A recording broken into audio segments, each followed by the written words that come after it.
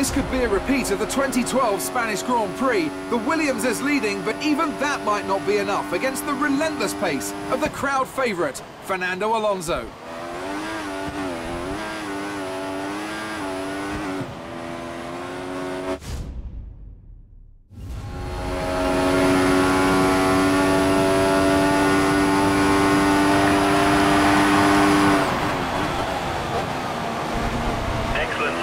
far, we just need to stay ahead of Alonso now.